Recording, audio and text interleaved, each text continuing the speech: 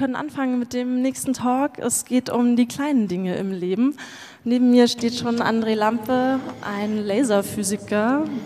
Next to me standing is André Lampe, he's a laser physicist. Äh, vor allen Dingen beschäftigt er sich mit Mikroskopen. Mainly he's working with microscope last year at the 33C3. He has already given a talk about microscopes which you can build in your home.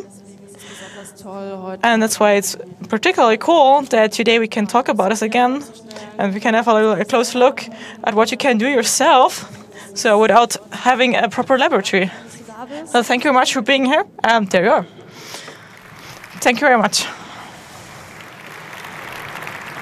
Ja, einen schönen guten Abend. Welcome everyone. It's about the small things in life too. That's a prequel, uh, not a Char Char Binksy. My name is André Lampe and I love microscopes really from the bottom of my heart. It's a very nice picture from me, which was painted on for Kirschvogel. You can follow her on Twitter. Last year at the talk, I was talking about high resolution microscopes. It was talking about mainly that at the limits of what's possible in research, you shouldn't be focused that you make pictures.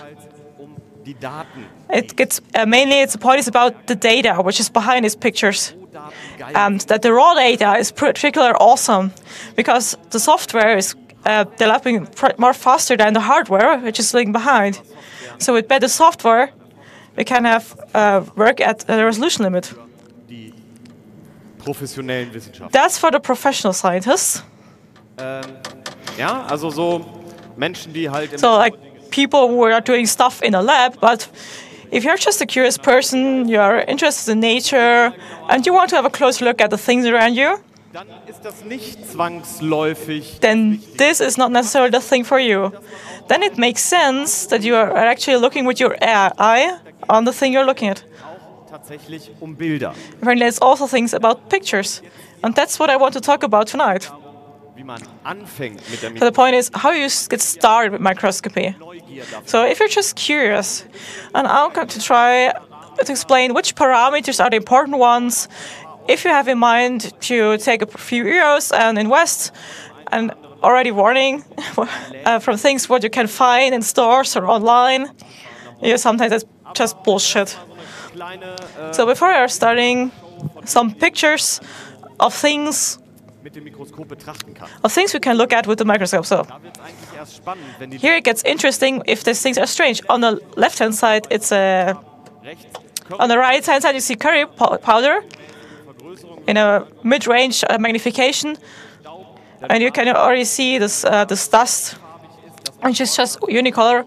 In a magnification, you can actually see these different colors. Here at the very left hand side, you have uh, a needle. It's a tip of a needle. In the middle, it's such an inje injection needle from an insulin. On the right hand side, it's a tip of a pen. Especially that that uh, tip in the middle, you can see how actually sharp it is compared to the thing on the left hand side. On this picture, that's from another talk from the 33C from Chris Gerlinsky. Thanks to you and I can use your pictures. He was talking, how do I crack satellites and cable pay TV? He put much effort um, to clean the chips. So there's really much more behind that than microscopy. But in the end, using a microscope, he was able to look at these chips. And at the points where the data was saved, he was able to read this out. Right? You see the bright and the darkest. This is representing ones and zeros. Actually, that's something you can do with a microscope. Watch that talk, it was really fun for me. Biology, there are other things. On the left hand side, you can see a video from a colleague, Martin Ballaschk. He's writing things for SciLogs. In his aquarium, he was uh, looking what he finds, and this is animal. You can see here on the left hand side, which is moving around. On the right hand side, there are many pictures, about 80 or 90, it's a sample for microscopy uh, made from a fungus. You see the lamella? It's um, upside down, if you're wondering about that. You see the lamella and the core and the inner cell structure. Ähm, a short introduction auf unterschiedliche Arten mit Mikroskopie. how I got into the topic of microscopes. I studied physics, laser physics to be accurate. Then I went to biochemistry. Then you're getting into lab. You start reading this microscope, and then the chef is there and says, Cool, may I have a look? And then you, as a physicist, say, uh, I just worked on that three weeks. That just this part from the, from the camera. What do you want to see? It doesn't make sense.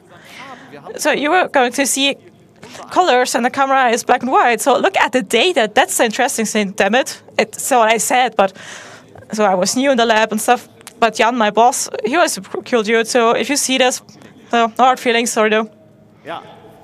Aber ich habe dann so, hä, warum? I was like, so, oh, why do you want to look through the microscope? I don't understand. Ja, du musst ja auch mal ein bisschen was mit Biologie machen. Yeah, so I should do something about biology. So you look at the cell structures. So I had my own cell line and I had to manage this. And they told me, uh, colleagues told me, okay, listen, you have this pink liquid. If you want to get this sensor, you take one milliliter and put that on top.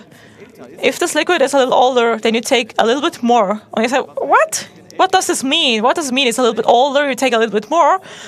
I'm a physicist. This is deterministic. A, something happens, B. in biology, you have A. Then, uh, something. We can't describe life in a deterministic way. Das ist kein Fehler der Biologie. This is not biology's fault. We've just not gotten that far to understand this complex device that is life. We can't understand every single step. Das ist etwas, was der Biologie innewohnt, wie das deterministische, This is just a part of biology like determinism is to physics. was so das Klick gemacht hat. Das hat aber ein bisschen And that's what made click or made a click noise in my head. This whole well, use a bit more. Biology is like baking. You need the right ingredients, but you also need feeling.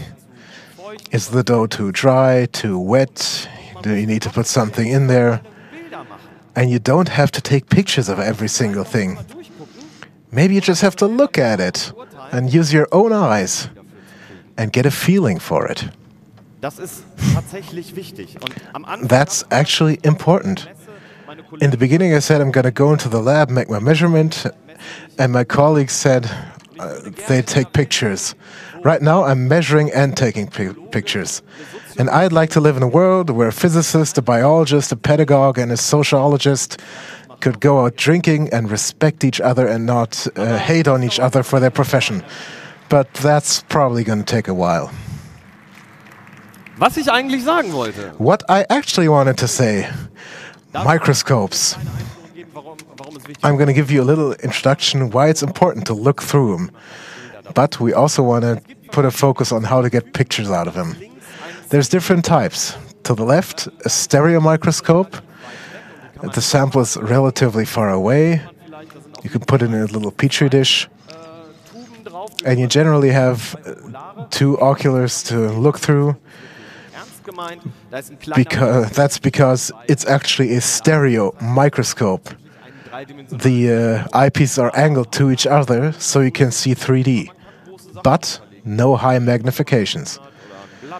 At least you can put big things under it, like a beetle, a leaf, piece of dirt. What do you want? ich nenne es immer gerne normales Mikroskop, aber Then there are normal or through light microscopes. meines Lebens irgendwie ständig. That's the kind of thing that I've sat in front of for seven years. So pro- that's probably why I think it's normal. Darüber geht es zum größten Teil. That's the main type. Then there are a few others.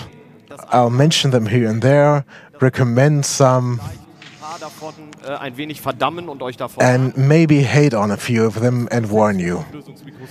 And there's the fluorescence high resolution microscope. That's not a topic today, but I just wanted to, to show it to you to see that it's uh, quite a bit more complex.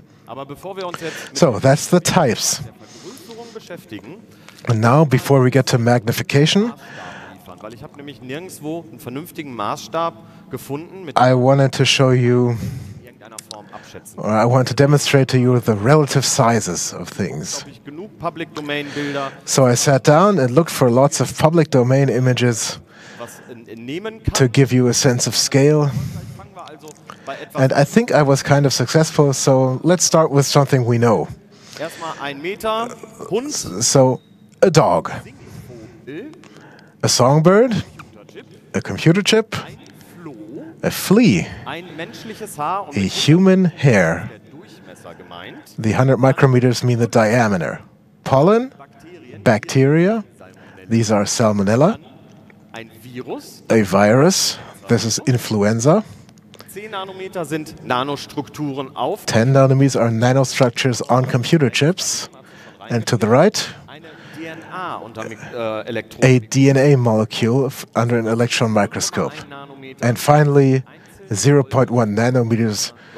Those balls are single gold atoms.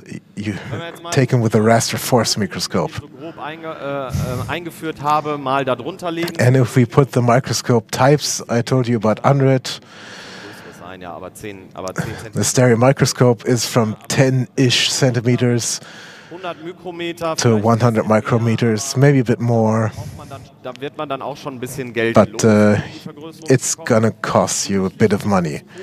Then there's the transmissive microscope. Starts smaller, but can go down even farther, a bit more than a micrometer. Uh, I colored that part orange. We're gonna do that later. Then there's the high, high resolution fluorescence microscope. It goes down to about nanometer with light. And then there's the electron microscope. Diese eingefärbten that goes down even lower. das macht echt Arbeit. The colored parts are really hard to do.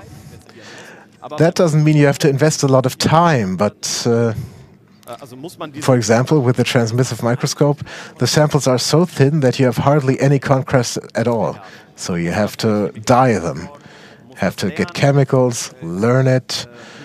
It might be a bit toxic, or you need a fume hood or stuff like that.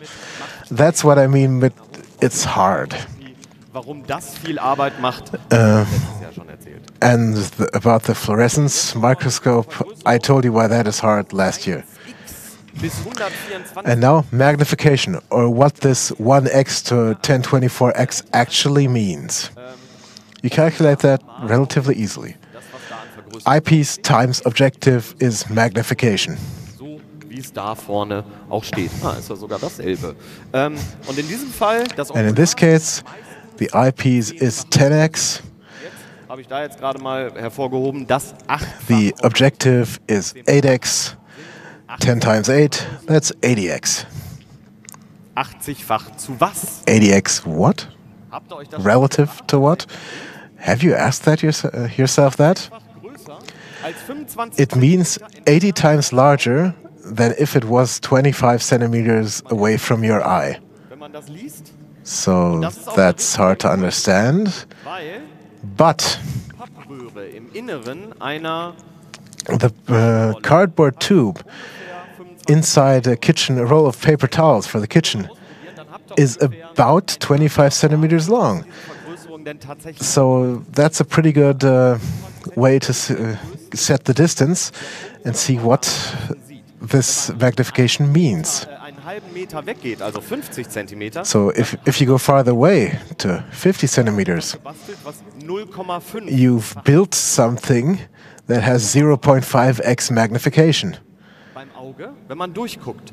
Und This is actually only useful with the eye if you look through it and not for pictures and cameras. das hier in 400-facher Vergrößerung, könnt ihr schmecken.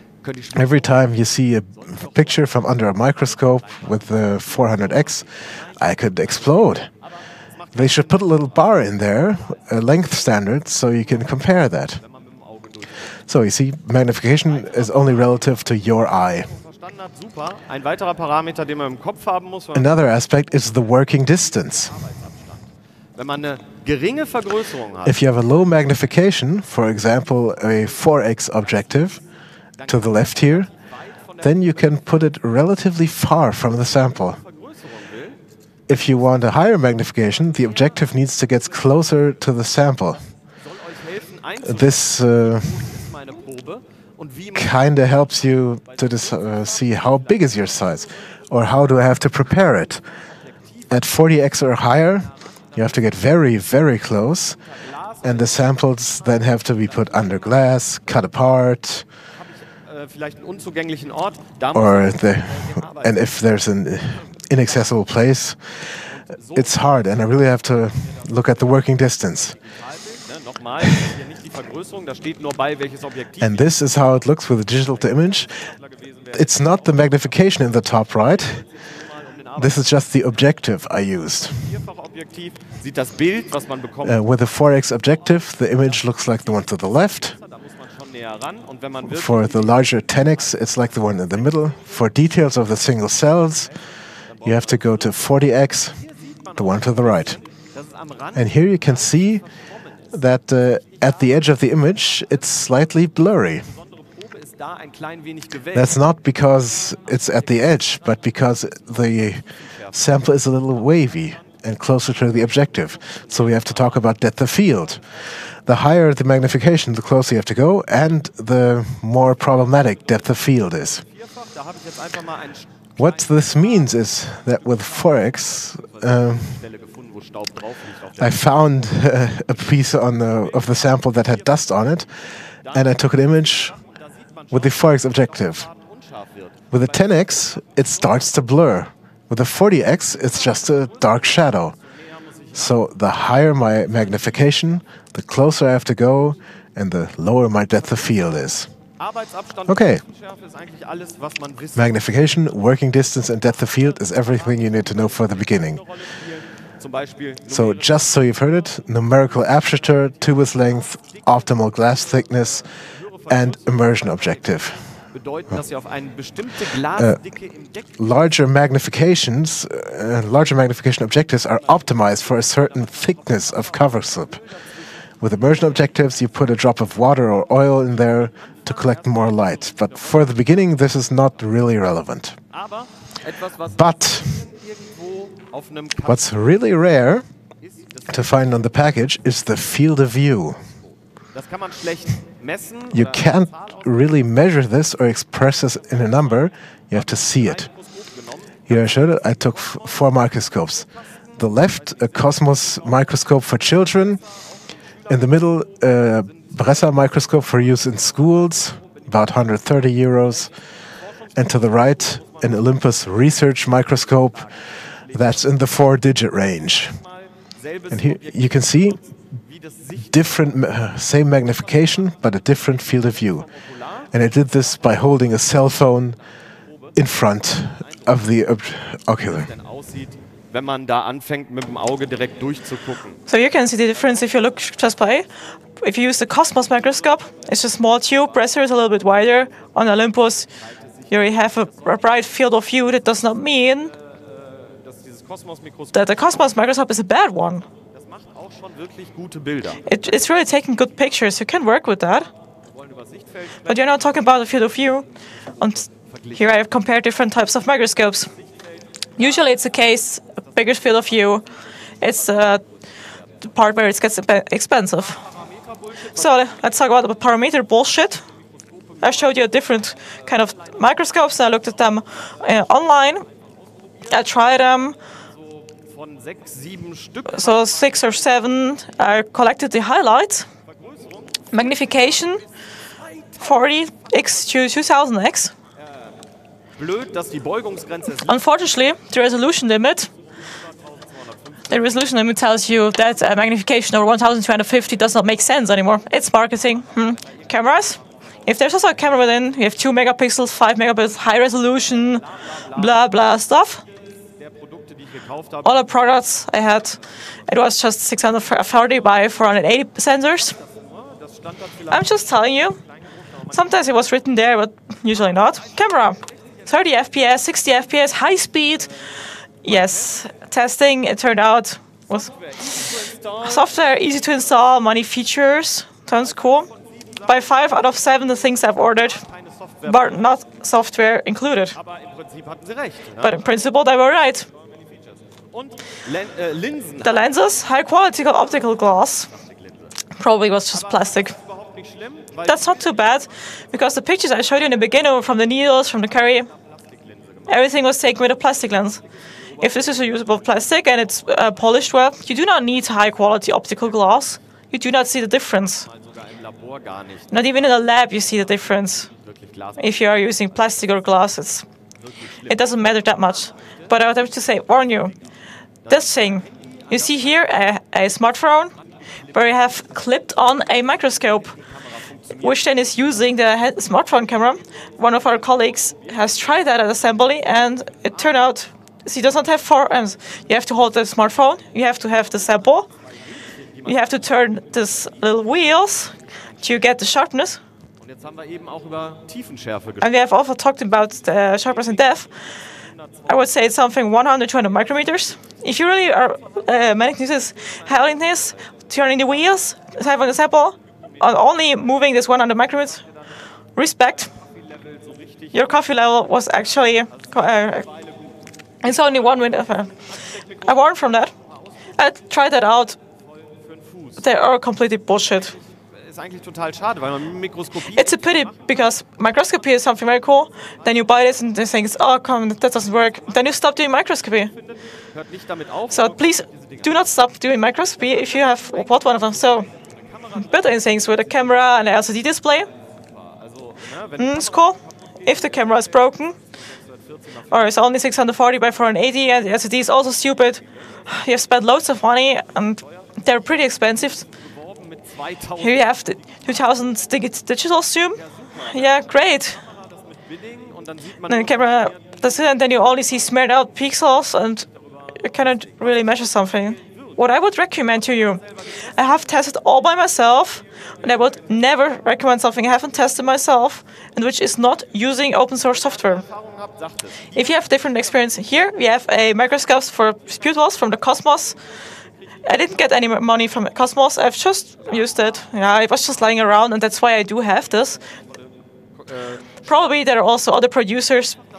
So you just use your smartphone and take the pictures. It's the best camera is actually always in your pocket, and all two years something, you get a new one. You can actually take brilliant pictures and look at them. You can show them to your friends. It's just simply brilliant. Deutlich mehr Pixel als 614 x 408. and it's incredibly more pixels. Another nice thing is this funny thingy. Saugnäpfe kann man das Handy drauf, You can actually attach your smartphone to that. It has the um, correct distance. You can take the picture. äh, sein Mikroskop mit Display und Kamera. So yeah, you have there your microscope with the display and a camera, and you can actually um, exchange the things. I would actually recommend this one. It's very cheap, and you can do interesting stuff and digital pictures.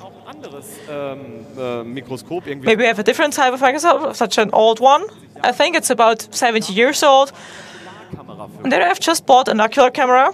I've put that on the top. Das Tolle ist, Mikroskoptechnik ist The cool thing is, microscope technology, it's normed. So all the tubes have the same radius in the inside. So this ocular camera does actually fit. I just plug it in. It has a sensor in it, full HD. 80 ähm, wird erkannt von offener Software. Also You can use it with open source software. So you can just a USB camera, you can use it with everything. It takes good pictures. It costs about 60 euros, if I'm not mistaken. Also tauscht das rum, wie ihr wollt. But you can also do it with a school, uh, pupil microscope. Und ich betone billig. Then there are these cheap, and I mean cheap, USB microscopes. You can't look through them, that's bad. But under 20 bucks, yeah, why not? I use this, uh, something like this, to take the pictures of the curry powder and the needles. It's not bad for a bit of playing around, but please, you need to have some sort of stand for it because holding it in your hand is going to screw with your depth of field and your distance. You're not going to be happy with that because you can't hold your hand that steady. And what I can recommend, did it last year, Micromanager, the open source microscopy software. It can talk to all the cameras I've gotten ever, has a full Arduino support, so a really good project. Uh, build your own motorized microscope. It's a really fun project. I- I'm just saying. So, uh, baut großartigen Aufkleber. Thanks to Munich for the awesome stickers. I've got them from your box, and I didn't really say thanks for that. So, uh, yeah, they're awesome. It's on my Olympus microscope now. So, concrete applications. We have, that is we, Anna Müllner and myself. Uh, she had a few agar plates.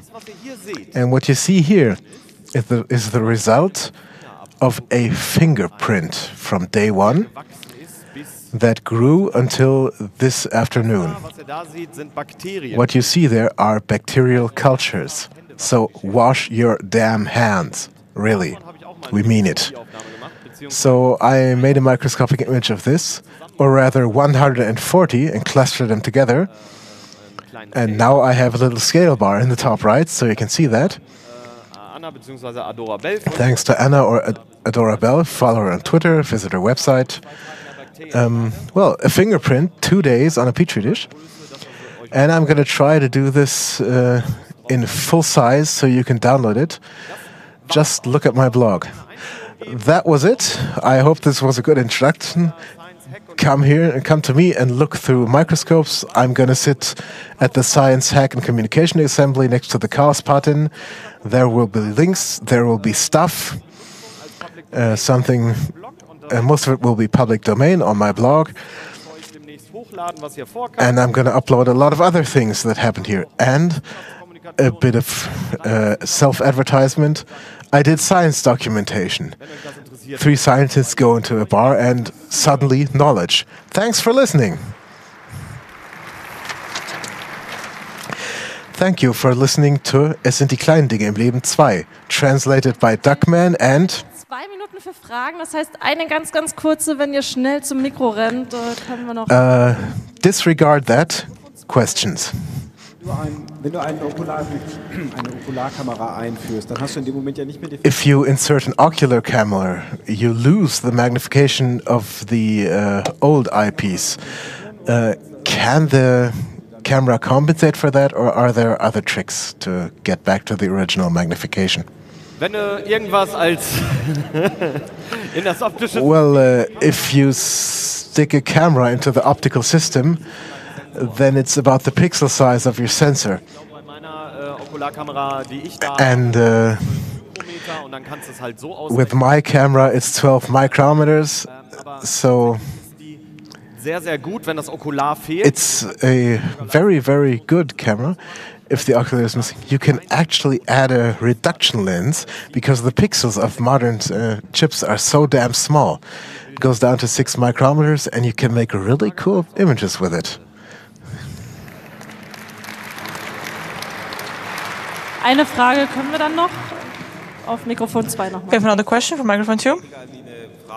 It's just a question, but more a remark I wanted to say. Ähm, und zwar ist so, äh, Kamera gehen sogar runter in Pixelgrößen. Cameras actually have pixels for a half a micrometer.